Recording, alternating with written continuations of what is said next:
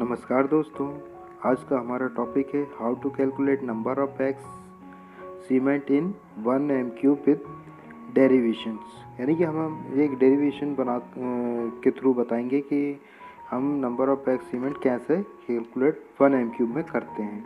तो सबसे पहले मैं आपको जो है एक, ये हमारा सपोज़ ये लेंथ विथ हाइट एक हमने ये तैयार किया जिसमें कि जो है वन एम क्यूब मटेरियल हमारा फिल हो सके। लेंथ विथ एंड हाइट जिसकी डायमेंशन हम देखते हैं वन वन वन मीटर में है। तो ये हमारी डायमेंशंस हो गई हैं। तो इस तरह की डायमेंशंस को ही हम जो है आगे कंटिन्यू करेंगे।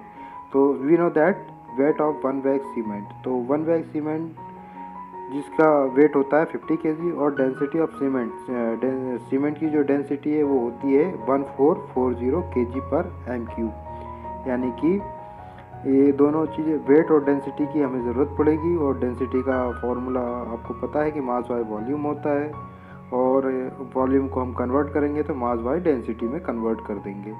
तो जब ये दोनों हम कन्वर्ट कर देंगे, ये दोनों वैल्यू हमें पता है तो वही वैल्यू हम यहाँ पुट कर देंगे। 50 K G by one four four zero K G पर एम क्यूब तो उसकी वैल्यू हो जाएगी zero point zero three four seven M cube तो ये वैल्यू हमारी जो है, एक वॉल्यूम निकल आया है।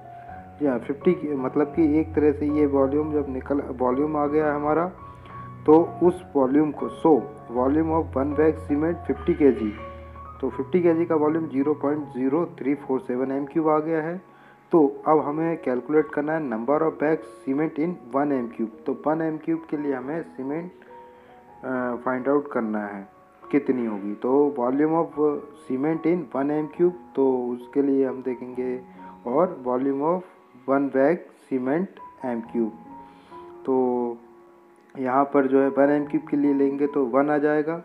और हमें फिफ्टी के जी का पता ही है कितनी है वन बैग का तो ये हमारी आएगी zero point zero three four seven यहाँ पर आ जाएगा ये वैल्यू तो ट्वेंटी एट पॉइंट एट हो जाएगा। यानी कि twenty eight point eight cement bags use होगा। आई थिंक ये वीडियो अच्छे से समझ में आ गया होगा। Thanks like share and subscribe करें। चैनल को ज़रूर सब्सक्राइब करें। Thanks friends